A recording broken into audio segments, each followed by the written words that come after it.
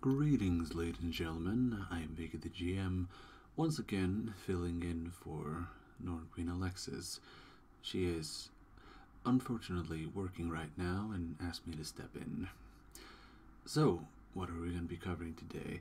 It's the New York Toy Fair, which is funny that Alexis, who is currently working in a game store in New York, has asked me to uh, comment on things that uh, I am only slightly qualified to do. So, as longtime lovers of New York, hey, me too, toys and fairs of all kinds, we thought we'd pop along to the New York Toy Fair, a major event for toy sellers across the world. We brought with us some very exciting new stuff. Over the past couple of years, we've returned to our roots with a ton of board games aimed at new fans, alongside reinventions of classic games for veterans. And we've got good news for fans of both. First up, now, they say they've done that, and yet, not a peep about Battlefleet Gothic. Come on, Games Workshop, do it. However, Warhammer Underworlds, which is the Warhammer Age of Sigmar skirmish game, which is the counterpart to Kill Team. A new Warhammer Underworlds warband. Warhammer Underworlds is a game with a vast amount of depth. depth. To some, well, it has death too, but besides the point. To some, it's all about outthinking your foe with a blistering and well-chosen selection of ploys, grabbing victory by cunning alone.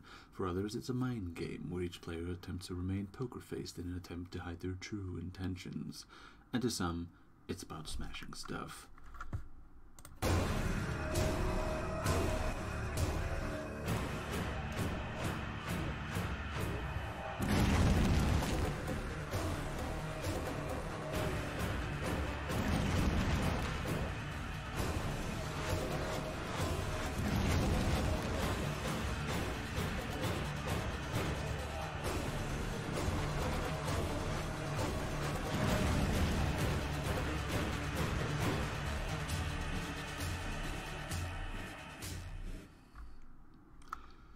So yeah, the latest warband for Underworld is the Orcs with uh, Krushas.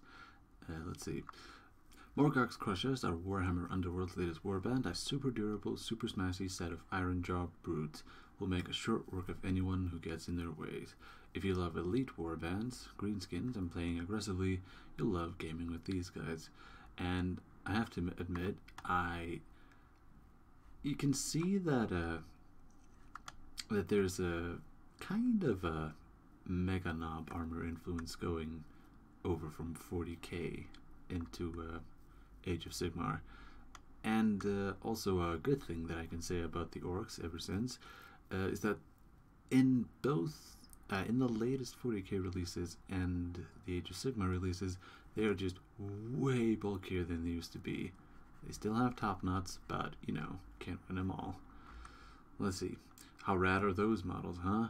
Every Orruk fan will want to grab a set of these to paint. Remember, like all Warhammer Underworld's warbands, they have rules for your Warhammer Age of Sigmar army, so you really have no excuse not to get them.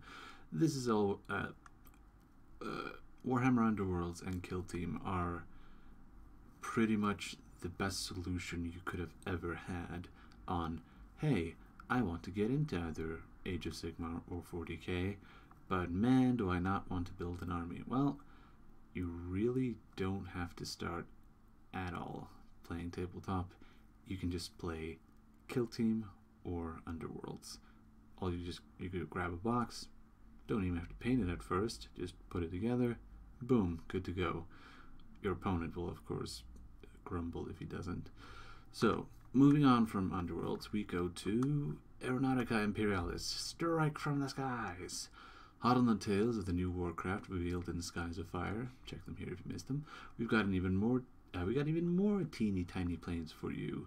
And it's the Avenger Strike Fighter. And it is super tiny and super adorable. Let's see. Avenger Strike Fighters have long been beloved by generals in both Warhammer 40,000 and Age of Darkness for their ability to deploy armor-busting firepower at ridiculous speeds. This new plastic kit will allow you to reinforce your Imperial Navy squadron with four of the Blighters. And it was a Brit that wrote this.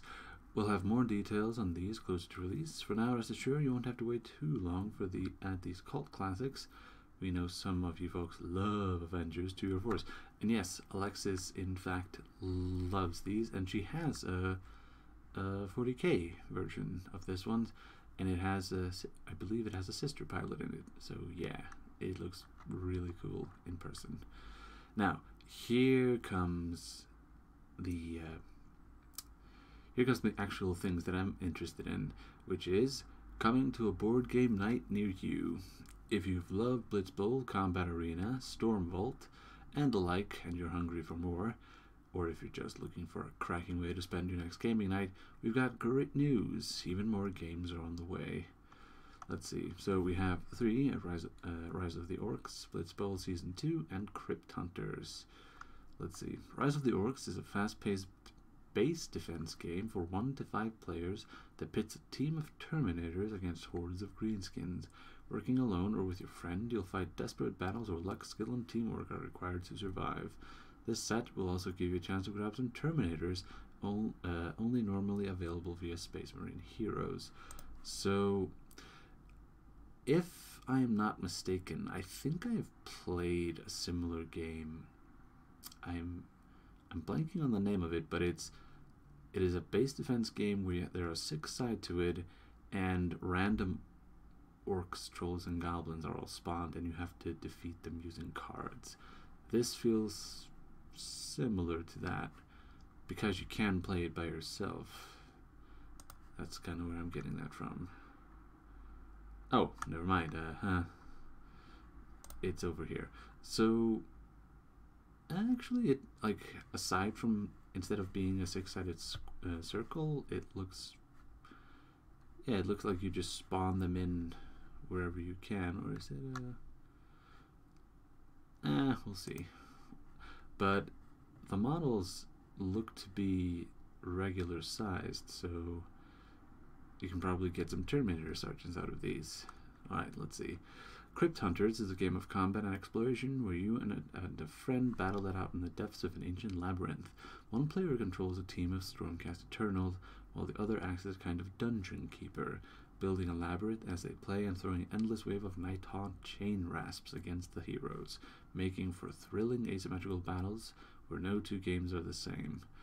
So, this has the uh, Deathwatch Overkill feel, where one of them, uh, one of you plays the Genius Cult and the other plays the Deathwatch.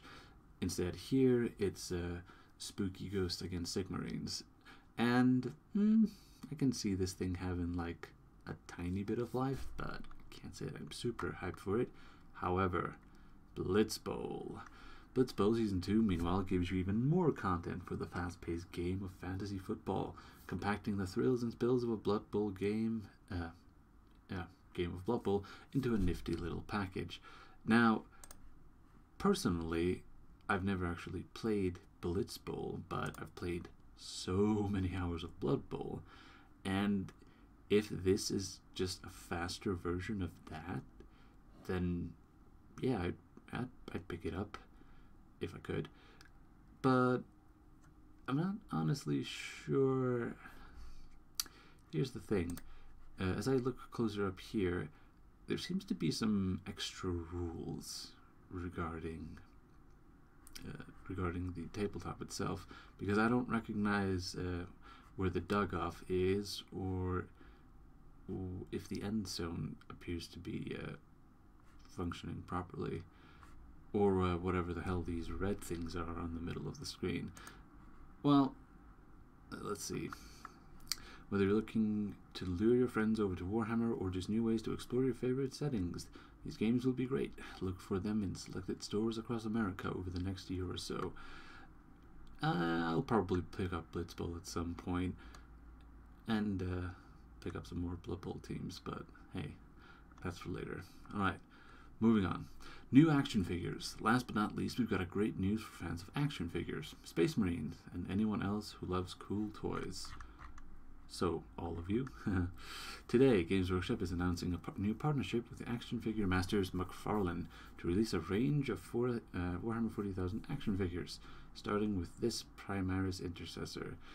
yeah, they they kind of ha have to start with these guys because they are the new face 40k.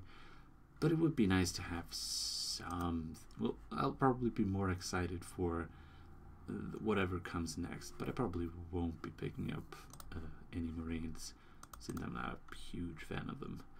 Let's see. Details are being kept on the down low right now, but we have a few tidbits we can share. First of all, these fully posable action figures are planned for release in both painted and unpainted versions, perfect for representing your favorite chapter. Uh, secondly, this Primaris Intercessor is only the beginning. There are more already in the pipeline, and they're not all Space Marines. We'll have more news on just how you can get your hands on these before too long. So yeah, uh, hoping for Sisters of Battle, maybe some Mechanicus, uh, Chaos Space Marines will probably be next. Uh, let's see. That's all we've got from the New York Toy Fair and uh, a whole bunch of other stuff. Um, I have to say, like, for a New York Toy Fair, there's honestly not that much. It's one one box of uh, one box of three orcs, one box of four Avengers Strike Fighter, for uh, a game that is uh, what's it called? It is a bespoke game. It's it's it has its own thing and it kind of can't be used for anything else. And then three tiny tiny board games, only one of which I'm super excited for. So, oh, and uh, and the uh, posable marine. So, can't say that I'm hugely excited for all of these. I kind of just want to play more Blood Bowl. I probably should go do that now. Yeah, you know what? I'm gonna boot up Blood Bowl. But until next time, I have been Viggih the GM, filling in for Norn Queen Alexis. Check out all the doobly doos in the description. Uh, and I also want to, uh, again, thank all of Alexis's Patreon patrons. I'm so thankful for all of you for helping support my fiance. And uh, until next time, I've been Viggih the GM. Bye.